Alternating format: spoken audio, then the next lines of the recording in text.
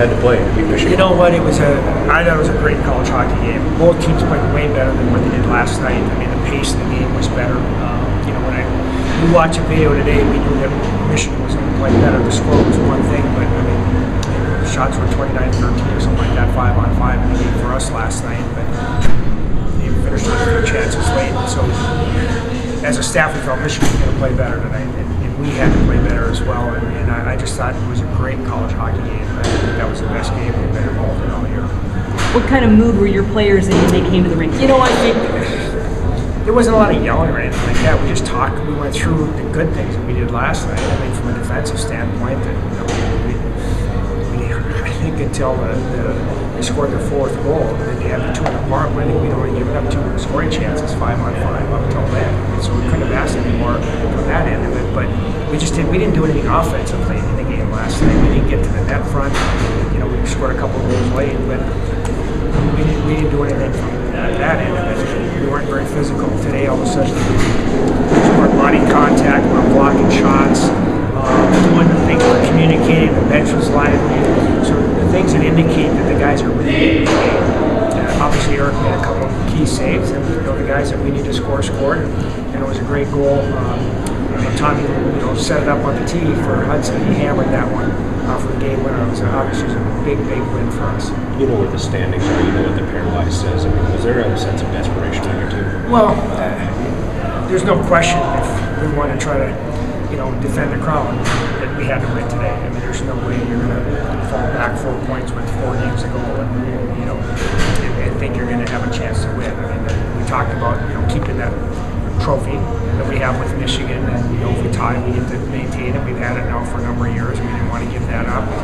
You know, to, to maintain. You know, when the weekend began, just like we were in Ann Arbor, then you know the goal was to stay ahead of Michigan at the end of the weekend. I mean, they're a good team. There's no question. There's a reason why they won, lost two overtime games here in the second half of the season. They're dangerous, and, and we, we had to play a complete game. We talked about it, the high scoring in the third period. You know, we really dug in in the third period and you know didn't give up much of anything. And the guys did a good job of you know uh, our, our reload game was good. We didn't get beat up the but maybe one one or two times all night long. And, and you have to play that way. You have to be conscious defensively. We're not going to run and gun with that team and think we're going to come out on top. Not with not this year.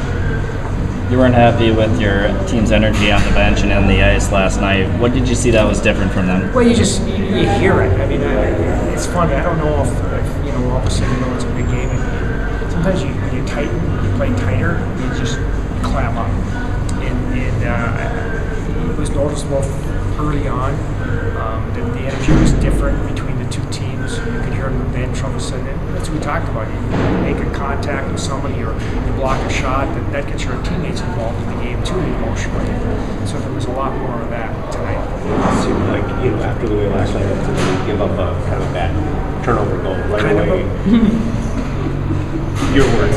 Um, you know, do you have to kind of rebuild things at that point? No, I, I you know, because I, I thought It's early, I Yeah, it's early, and it, I thought you know the, tie at one-one was critical. I mean, you, you just you don't want to spot Michigan two and think you're going to play catch-up because maybe you have to play a different type of game that you want to play because you want to keep it kind of close to the best. And, and so I thought tying at one-to-one was was really critical for us tonight.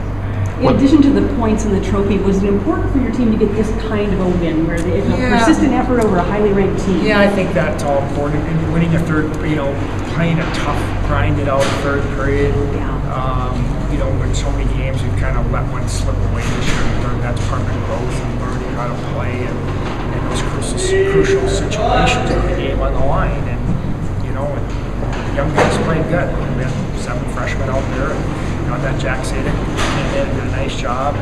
Um, you know, Kloos's line, for the most part, thought did a good job against Compher's line all weekend long. And really just kind of fell into it uh, more than anything. It wasn't as consumed by, um, you know, if they were going to get a matchup. But, you know, Kloos's skating ability, um, I trusted him, you know, at least in the center position that Michigan defending down low too. Michigan's second goal to a nice goal, but it looked like your team had three or four chances to get Yeah, over the blue line. yeah, and that's hey, they're going to pay. You know, that's a goal scorer's goal. I made the comment to Grant after the second that you know a lot of guys would have got that pass and they would have ended in the pillows, you know, shot low. But no, there's a reason why he's got 29. I mean, it was almost barred out, and that's what goal scorers do. They get that puck, they elevate.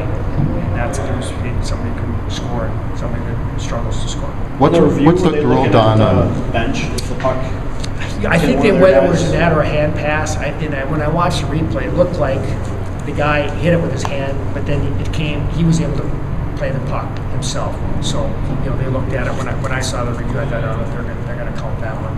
what's, Go what's the rule done on, on sweeping the stick away? The kid- Your player swept the, Interference. Well, Yeah. I thought it was a, uh, a broken stick, but there was two sticks, I guess. One was broke, one wasn't. Okay. And he swept away the one that wasn't broke. So if it's broken, you can do it if Yeah, I it's mean, because you can't pick up your stick. stick, right, Yeah. okay. A lot of penalties in the first, and then it looked like in the second, everything, you know, kind of went. Full-time hockey. You got- It seemed like you had to maybe adjust to the refs in games. I Yeah, hey, it was probably better for us that there wasn't calls, so.